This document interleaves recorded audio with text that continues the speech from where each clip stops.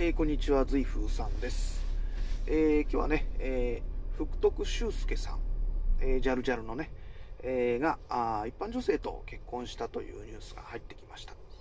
えー、相手の方の生年月日はわからないんでね、えー、多分こういう人だろうということでね、えー、占ってみたいと思います。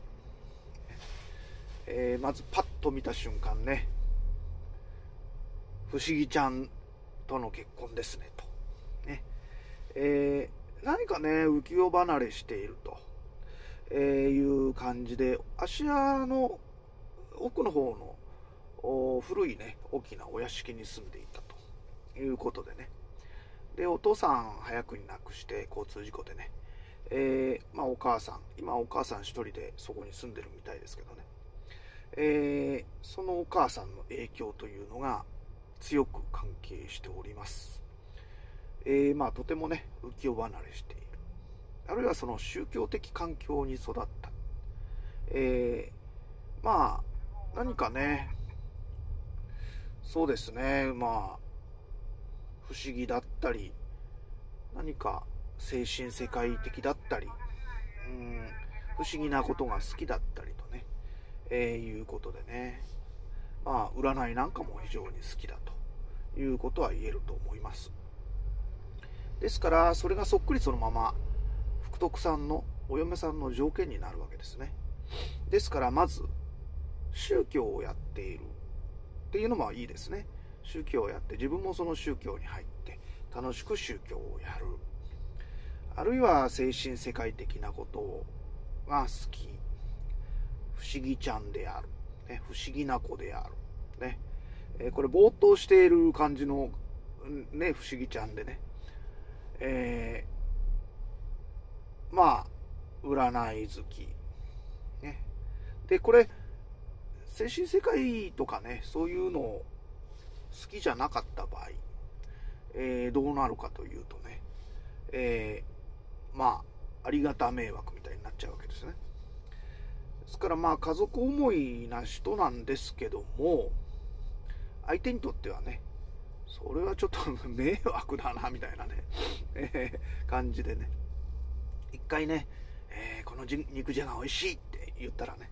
えー、その肉じゃがをね、あの、もうずっと作り続けるみたいなね、あの、いや、もういいんだけどな、みたいな、ありがとうって言いながらね、えー、とかね、えー、ああ、勘違いみたいな人はね、えー、たくさんいて、まあ、非常に面白いんですがね。えー、ですから、そういうことですよね。だから、あの、ぜひ、そういう人と結婚してるんだろうなっていうことは思いました。え、そしてね、よく上げチンとか下げチンなんて言いますけども、福徳さんの場合ね、お父さん亡くしてますんでね、え、そういう概念がないです。えー、ですから、お父さんからの影響はほとんど少ないということですよね。まあでも相手の方がやっぱりね、えー、揚げまんであること、あ揚げまんの女性であるっていう方がやっぱりいいとは思いますけどね。ですから、その、あんまり下げまんみたいなね、女性と結婚すると、社会的なね、えー、まあ地位が不安定になってしまうということですよね。だから、その、石橋貴明さんみたいなね、えー、ちょっと過激さを売りにする人になると、えー、まあ、ある時期ね、えー、仕事がなくなってしまうとかっていうね、上から目線みたいなね、あの、そういうキャラでね、売ってきたわけです。売れてる時はいいんですけど、うそうじゃない時も来てね、まあ今 YouTuber として頑張ってますけどね、えー、不安定になってしまう。ですからまあ、ほなみさんの方がね、それでカバーしてると思いますけどね。うん、まあ、ほなみさんの方も今、ドラマとかで、出て活躍してますんでね。うん。あのー、極端です。ね。えー、人生の方向性が、安定的ではないということは言えると思います。えー、ですのでね、えー、まあ、まあ、どちらでも対応できるとは思いますけどね。うん。えー、そしてね、これね、あの、早く結婚したんじゃないかなっていうことは、交際ねして早く結婚したと思うのはねやっぱりものすごいあの魅力の持ち主男性としてはねうんもう絶倫ですみたいなねああいう人多くてえー、まあ夜の世界でもね、えー、活躍しているね。えー、だから何ていうんですかね。よくねフランス人男性イタリア人男性がなんか発してるなんか匂いのボトルみたいな。あのね漫画の通販の後ろでね売ってますけどね。なんかフェロモン出してるってよく言ってますよね。なんかねフェロモンみたいの出して歩いてんだよねっていう話。ねそれまあ強いです、